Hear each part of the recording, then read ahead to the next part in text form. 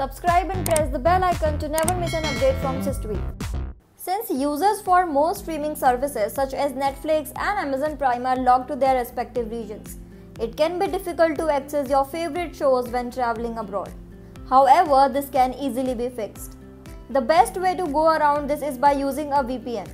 In this video, we will show you how to change the region on Netflix and Amazon Prime. All you need is a reliable VPN to access Netflix contents from other countries. So for this you can totally rely upon the Systweak VPN. Start with downloading and installing Systweak VPN on your Windows computer. You can also use the link given in the description below. First go to the Netflix website. Now open Systweak VPN and from here you can select your country of choice.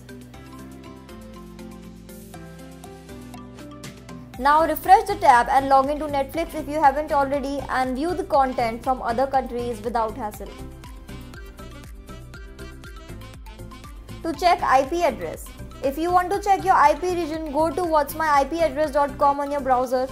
As you can see here, my IP address is changed.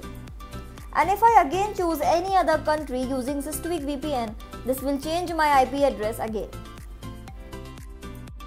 How to access Amazon content using Systweak VPN.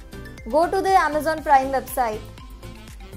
Now open Systweak VPN and from here you can select your country of choice. Now refresh the tab and log into Amazon Prime if you haven't already and view the content from other countries without any hassle. Wow, isn't it amazing? So this is the best method to watch Netflix and Amazon Prime from other countries. If you have some other doubts regarding this then make sure to discuss with us in the comments. Also don't forget to like, share and subscribe.